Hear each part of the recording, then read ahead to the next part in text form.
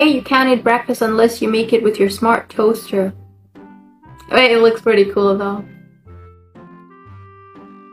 It doesn't just pop up, it slides out. Slides out expensively.